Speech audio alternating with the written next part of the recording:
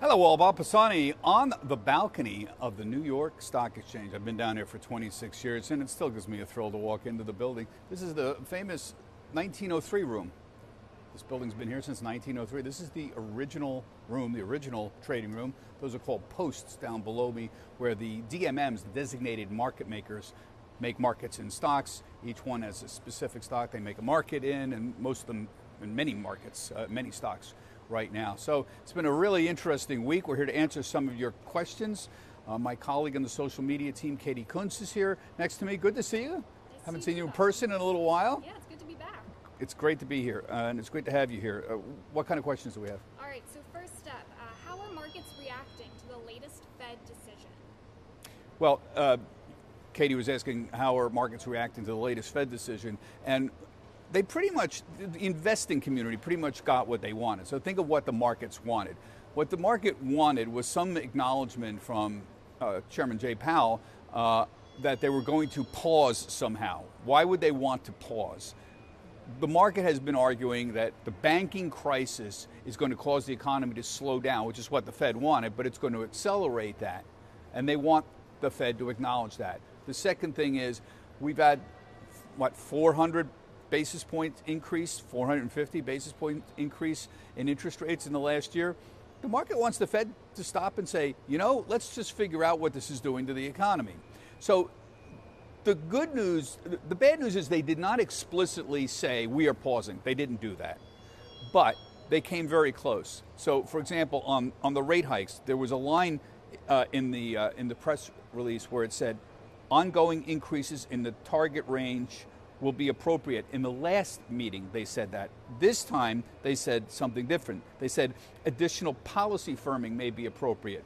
You have to be un- practiced at reading Fed speak, but what happened here was they replaced a statement that said, oh, we're going to keep raising interest rates uh, at the last meeting with the current one, which basically was a kind of a wimpy statement, and eh, maybe sometime in the future we will. That's a difference in tone. The second thing that they did that the market liked is Powell, in his press conference, very explicitly acknowledged the banking crisis and said, yo, yeah, this is having an effect uh, on our uh, on our thinking and our, our potential forecast that was a factor in us only raising a quarter point. So that's what the market wanted to hear. They didn't say, Powell didn't say, oh no, we're done raising rates. That's it. He did not say that. But he came close to implying that we were near the end of the cycle. That was good enough for the markets yesterday. All right, so Bob, do you think uh, Congress or the Biden administration will raise the insurance limit for bank deposits? Uh, Katie was asking um, whether Congress or uh, the Biden administration is going to raise the insurance limit. So this is a, the, at the heart of the banking problem um, right now. So you probably know the FDIC, the Federal Deposit Insurance Commission, uh, uh, has a $250,000 limit on uh, bank deposits for insurance. So if you have up to 250,000, you're completely insured. Whether the bank goes under, doesn't go under, doesn't matter. There has been a lot of discussion about raising that uh, after Silicon Valley Bank collapsed. The problem here is that there is things there's explicit and implicit guarantees. So there's an explicit guarantee that if you have $250,000 or less in your bank account, it doesn't matter, you're you're guaranteed. The government's guaranteeing it whether the bank collapses, doesn't collapse, whatever. The question was what happens above that?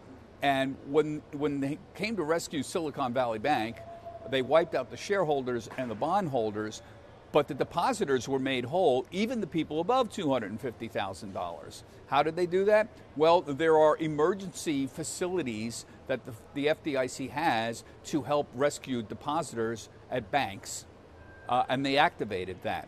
So at the same time, the Federal Reserve also offered lending to banks who might need to borrow money because deposits are down and they need more money in, the, in, their, in their reserves. So essentially what happened was there was an implicit guarantee for everybody. And Powell and Yellen, who's the Secretary of the, the Treasury, uh, has repeatedly said that bank deposits are safe. Now, remember something. They don't have an explicit guarantee above 250,000. They can't. Only Congress can change the law. But both Powell and Yellen have said, don't worry folks, your deposits are safe. The the implication is if there is another bank failure, the depositors will be made whole there. They can't go out, though, and say everybody in the country is insured to infinity. They don't have the power to do that. But if another individual bank goes under, their implication is we will save the deposit holders. So the problem is the, the stock market wants a more explicit guarantee. What's the explicit? Well, then Congress changes the law and says instead of 250,000, it's pick a number, 500,000, 1 million, infinity. That's the debate. Now they're going to have hearings next week in Congress to talk about this. The market very much would like them to do that. Here is the problem. Number one, it could be expensive. Nothing's free. You pay, the banks will pay insurance to the FDIC to insure these higher deposit limits. That means the cost for them is going to go up. Their earnings are going to go down. They're going to charge depositors more too. It's not risk free. The other is what we call moral hazard. Do we really want to tell all the banks in the world, and excuse me, in the United States, go ahead, do whatever you want because your depositors are going to be guaranteed.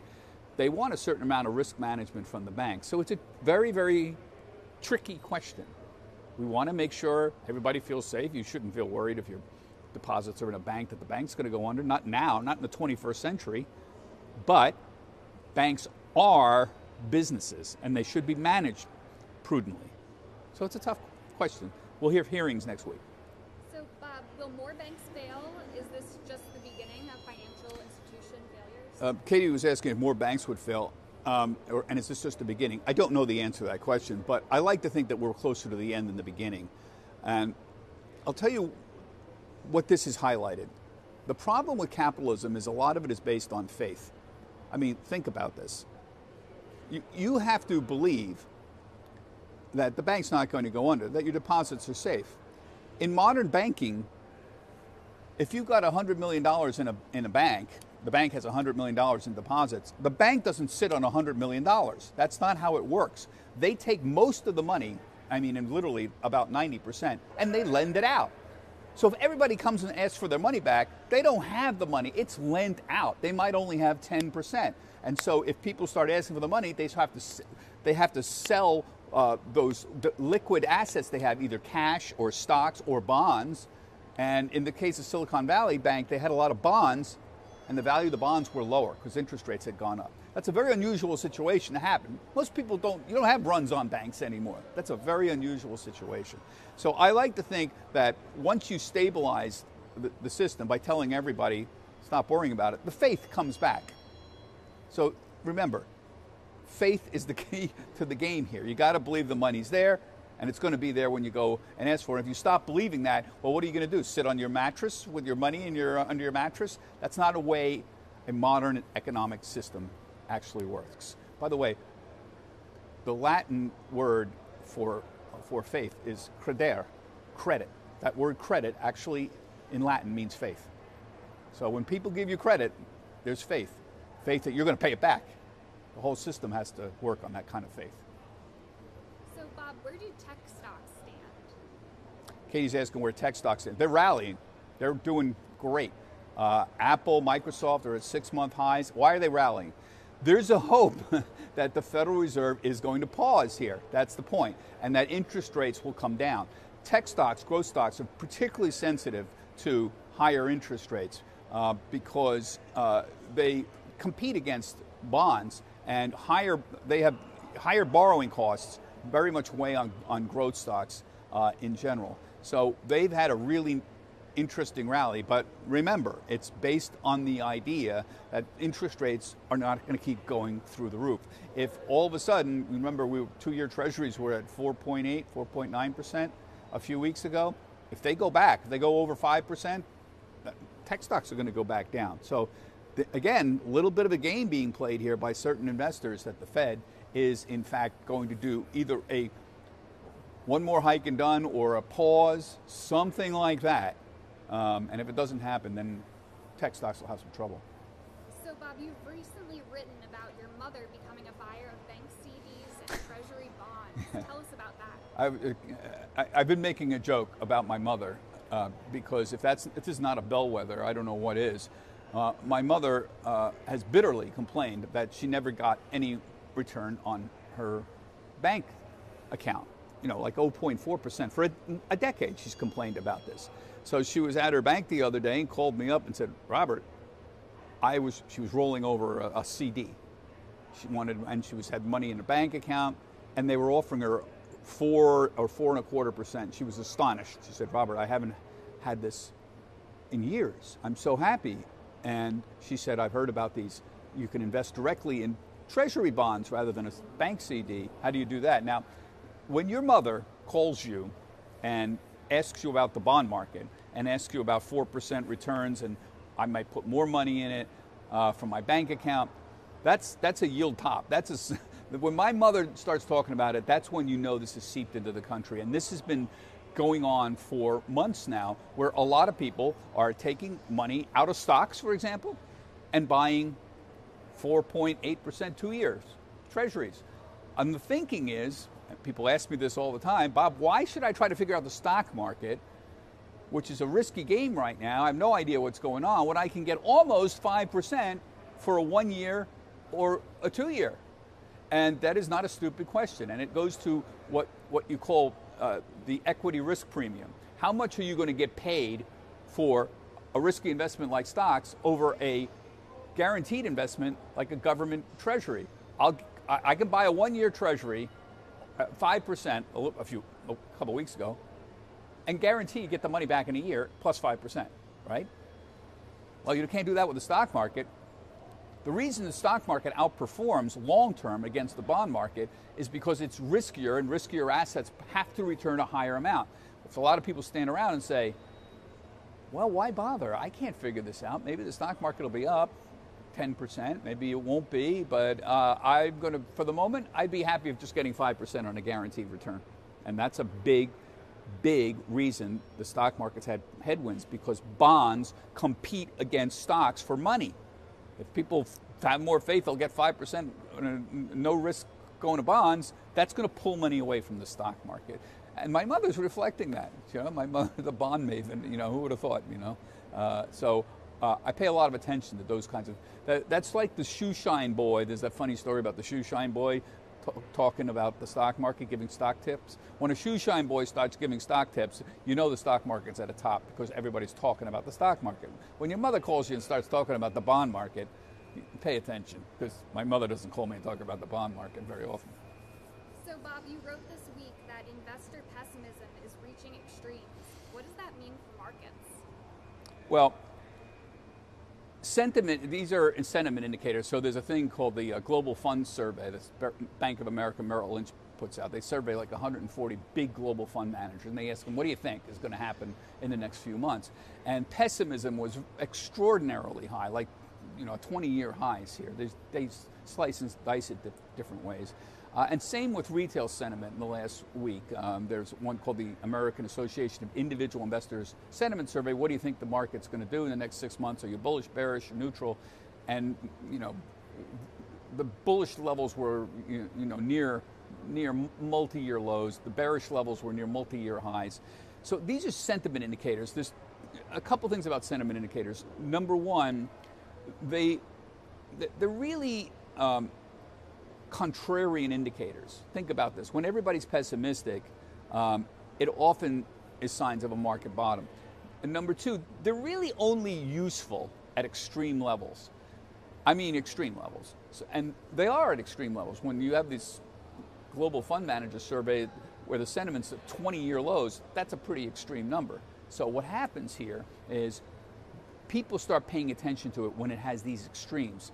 Because normally, when you have those extremes, an extreme pessimism often associated with a market bottom. Now, that's not a guarantee, but it's a good way of looking at it. And that's why I've talked about these sentiment indicators recently, because they're such they're at such extreme levels. Otherwise, I wouldn't pay much attention to them.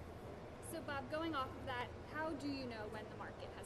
Well, that's the problem. You don't know. Um, you, there, there is no oracle. You use these things. Uh, we talk about these sentiment indicators. Um, we talk about the VIX, which is the volatility index. When it spikes up rather dramatically, those are often associated with, with market bottoms, at least short term. Um, so, for example, the VIX is usually around 20, 22. When it goes above 30, I start paying attention because in the past, recently in the last few years, that has often been associated with short term market bottoms. But we don't, there is nothing that will tell you that we are at some kind of perfect bottom anywhere. You can have situations where the market goes down, then rallies again, then goes back down. It's called a long term bear market, and you get these these bull market rallies in the middle of this thing. So you can look at sentiment indicators. You really want to deal with this and not make yourself crazy. Be a long-term investor. Don't be a, don't be an active trader. It's very difficult to uh, do really well actively trading all day long in and out over many years. You want to have a plan. You want to know what your risk tolerance is. You want to uh, know how much money you want to have in stocks versus bonds versus real estate. You want to put money in on a regular basis and you want to stay invested and don't think you can time markets. The academic literature is overwhelming. People do not successfully time markets, not even professionals. So the way to figure out is, to sort of not worry. The way to figure out if we're at a market bottom is don't worry about it. Uh, I, have talked many times about the people say we're at a market bottom. I say, look, how old are you? And how long you think you're going to live, and what is your risk tolerance for the market. You can ans- answer a few simple questions to figure out whether, you know, I should put of my retirement fund, I should have 65% in stocks, or 75, or 85, or 15% in bonds, or 5%. You can answer that in a, a half an hour with a professional investor uh, or a professional advisor will tell you about that. And th- after that, it's like how long you're going to live. So I'm going to be very. I, I, wrote a book recently, "Shut Up and Keep Talking: Lessons on Life and Investing" from the floor of the New York Stock Exchange. Katie and I talked about it, and there's a whole chapter in there about what I own, just so it's not so mystical. Too many people make a big mystery out of this. I describe what I own, and I describe how long I think I'm going to live. I'm 67, and I think I'm going to live to about 90. That's 23 more years. And you know what that means? That means I'm not buying next year. Or at least I don't think I am. And that means 23 years is an awful long time. I can assure you, 2022, which was not a good year for the stock market, is going to be a very distant memory in less than 10 years. And uh, 2009 uh, and 8 were not good years either. 2008 was not a good year. Uh, but that's a distant memory. And you don't pull money out at market bottoms. Uh, you don't do that. Not if you have a long term plan. And that's the way I looked at it. So again, when you're even at my age, while 2022 looked awful, you might panic and say, oh, I got to pull all my money out. You probably pulled it out at the wrong time. That's the odds. You probably are wrong. And sticking with the market, as long as you believe in the market long term, even if you've been dealing with some down years, not a bad idea. And again, talk to a professional investor, a professional advisor, I should say. That's all the questions we have for this week. Thanks, Bob. They're really good questions. By the way, you guys submit this. I don't submit these questions. You know, they come from you. So uh, I'm always amazed at how the, the astuteness of the questions. Guys are very much on top of things. I appreciate it.